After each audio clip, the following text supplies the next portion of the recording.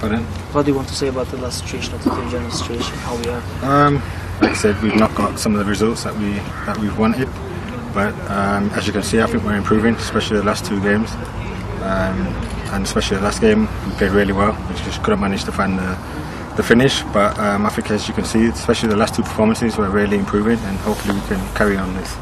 Söylediğiniz gibi puan anlamında ligde iyi bir durumda değiliz. Fakat son iki maçta gerçekten iyi savaşıyoruz, iyi mücadele ediyoruz. Çoğu şeyi değiştirdik. Zaten e, son maçımızda içerideki sizin de bildiğiniz gibi çok fazla yüklendik. Çok iyi işler yaptık ama bir türlü e, gol atamadık. 3 puan alamadık.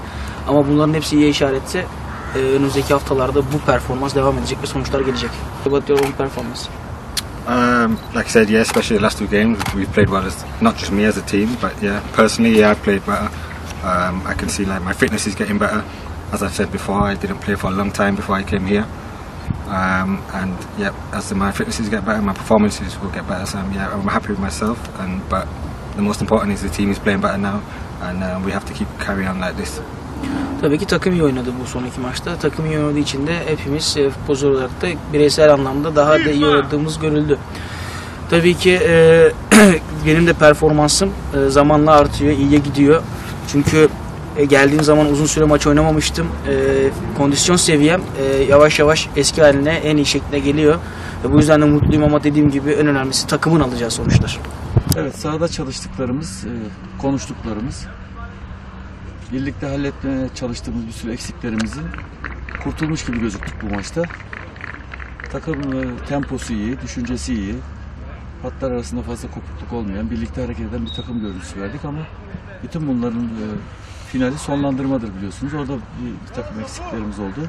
Keşke şimdi diyoruz onu da yapabilseydik her şeyi tam yapmaya yakın bir hale gelmiş olurdu diye düşünürdük. Olsun çalışıyoruz şimdi. Özellikle hücum oyuncularımıza farklı çalışmalar uygulayacağız. Gol vuruşuyla ilgili, golle ilgili. Onu yaşadıkları, bundan önceki yaşadıkları şeylerle ilgili onlara bazı şeyler yapacağız, sunumlar. Onları daha çok coşkulu hale getireceğiz.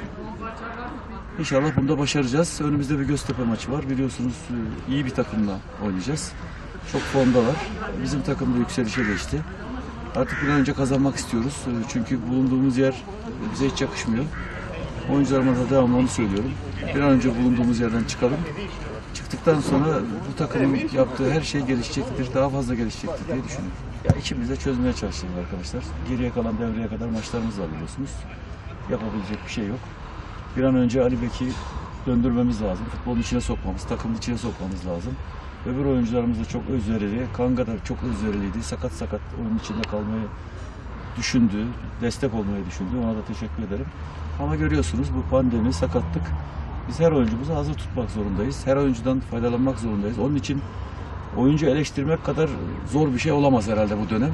Oyuncularımıza sahip çıkalım. Bu takımı hep birlikte koruyalım.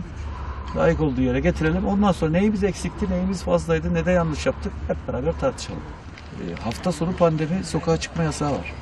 E, insanlara biz bir umutuz işte bu anlamda. Futbolcuların da, teknik adamların da, futbolun içindeki herkesin böyle düşünmesi lazım. İnsanlar pandemiden bunalan, bunalan insanlar ne yapacak? Evinde oturup keyifli bir maç seyretmek isteyecek. Öyle değil mi arkadaşlar? Biraz uzaklaşmak isteyecek. Yani bizim üzerimizdeki yük çok ağır ama bana çok hafif geliyor. Niye? İnsanlarımızı mutlu etme adına bir şeyler yapabiliyorsak bundan daha keyifli bir şey olamaz.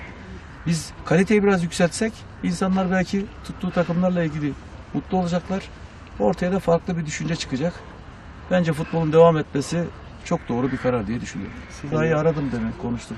Rıza kardeşimiz. Yılmaz da benim kardeşim. Onu devamlı arıyorum. Eşiyle de devamlı görüşüyorum. Gelişmelerle ilgili doktorları da arıyorum. Bunlar bizim arkadaşlarımız, kardeşlerimiz. Ama futbolun içindeyiz hepimiz. Kimin ne olacağını Allah bilir.